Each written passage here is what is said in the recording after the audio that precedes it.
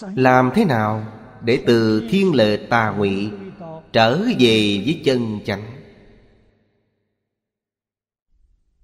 Phương pháp của tịnh độ tông vô cùng di diệu, nhưng cũng rất đơn giản. Chỉ cần chịu thực hành, thì trở về với chân thật không khó từ thiên lệ tà ngụy trở về với chân chánh thông thường nói thì thời gian ba năm là đủ.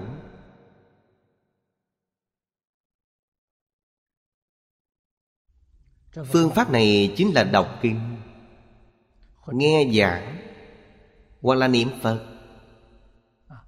Thâm nhập một môn và quân tu lâu dài là được. Suốt đời, chỉ cần học một bộ kinh quy y, đại thừa vô lượng thọ kinh. Quy là quay đầu, còn các kinh giáo khác tôi đều không học. Tôi từ trong tất cả kinh giáo quay đầu lại, chỉ nương vào kinh vô lượng thọ. Chỉ nương vào bản hội tập này.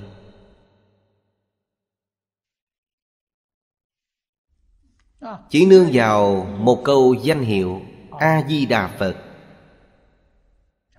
gọi là dạng đức hồng danh như vậy là đủ. Chỉ niệm những điều này không bao giờ quên, nên như vậy. Nếu tâm còn tạp niệm và những lời nhàn rỗi, như vậy là chưa biết. Vẫn còn suy này nghĩ nọ là chưa biết. Chưa nhập vào cảnh giới. Thật sự nhập cảnh giới là vọng tâm không còn. Vọng niệm không còn và không còn những lời nói bậy bạ.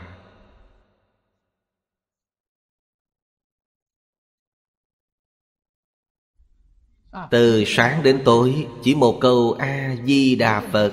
Hỏi họ điều gì, họ đều a di đà phật. Ngoài phật a di đà ra, họ không biết gì cả.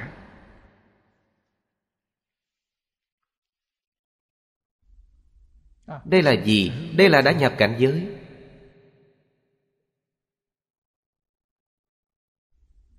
Có thể khế nhập ba năm, họ sẽ được tam muội, được khai ngộ.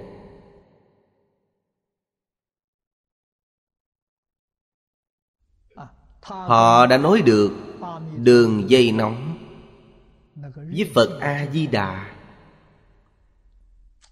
một niệm tương ưng, một niệm phật niệm niệm tương ưng, niệm niệm phật.